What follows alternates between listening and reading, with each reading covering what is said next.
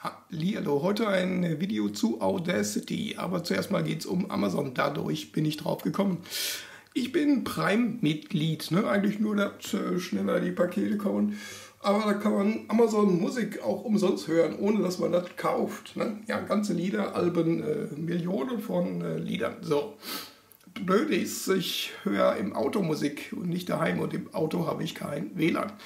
Äh, die kostenlos zu hörenden Dinger sind äh, nicht runterzuladen dann. Ne? Die müsste man dann kaufen. Das ist jetzt doof, habe ich mir gedacht. Äh, und habe dann einfach einen Klinkenstecker ins Smartphone bzw. Tablet.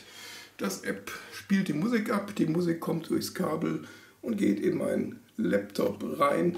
Und spätestens da war ich dann bei Audacity, ne? denn ich hatte Probleme mit dem Klinkenstecker. Je nachdem, wie der so eingesteckt ist, hat dann ein Kanal gesponnen und zwar abwechselnd und das schauen wir uns mal an, wie wir das korrigieren. So, auf eurem PC, wie gesagt, äh, ich äh, habe bereits aufgezeichnet. Denkt dran, den Eingang so einzustellen, dass es nicht zu hoch aussteuert und dann mit Audacity aufzeichnen mit der roten Rekord-Taste an der Wellenform, die ihr dann seht, könnt ihr erkennen, ob ihr zu hoch oder zu niedrig ausgesteuert habt. Das wäre jetzt eher zu niedrig.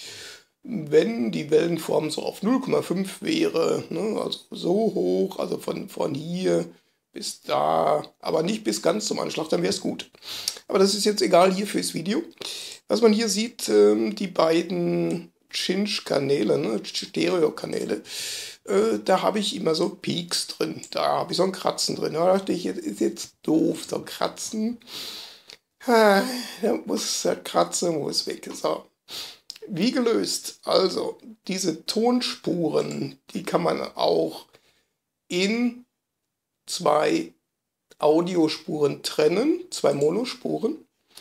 So, da hat man nämlich die eine, ne, das sieht man daran, die, kann man jetzt separat äh, markieren. Ne, kommen so komische Symbolchen, interessant. So, wir haben ja dann in dem Bereich, wo es knackt, ne, in dem Bereich, wo es knackt, haben wir einen guten Bereich, wo es nicht knackt, ne, auf der Einspur.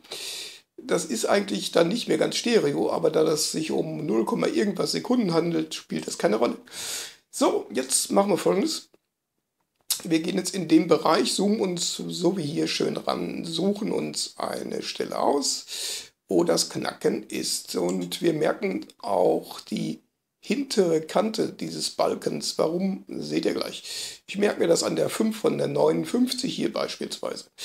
Jetzt drücke ich Steuerung C. Ihr könnt auch sagen, bearbeiten, kopieren.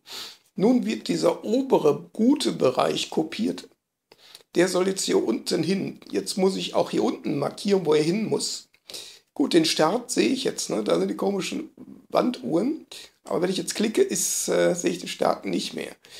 Deshalb habe ich mir die 59 da oben gemerkt, ne, an der oberen Kante, damit ich das Ende wiederfinde. So, jetzt sagt er dann Bearbeiten, Einfügen oder Steuerung V. So, jetzt schauen wir uns das an. Das Ergebnis ist doch schon sehr viel schöner. Ne? Da gibt es kein Knackser mehr mittendrin. Gut, Anfang und Ende könnt ihr wie gehabt bearbeiten. Einfach was markieren, entfernen drücken für löschen. Oder ihr könnt auch mit den Effekten ein- und ausblenden. Am Anfang am besten einblenden. Ganz am Ende des aufgezeichneten Audiospuren. Dann mit Bearbeiten, äh, Effekt und dann ausblenden. Dann habt ihr auch schöne Übergänge. Gut, das wollte ich nur kurz gezeigt haben. Ich fand das ganz witzig mit diesem Knackser äh, wegmachen. Ich hoffe, jetzt kriegt Amazon keinen Knacks. Äh, mein Smartphone übrigens, äh, was ich real benutzt habe, Samsung Galaxy Note 2 im Ruhemodus, damit es nicht klingelt und quietscht zwischendurch während der Aufnahme.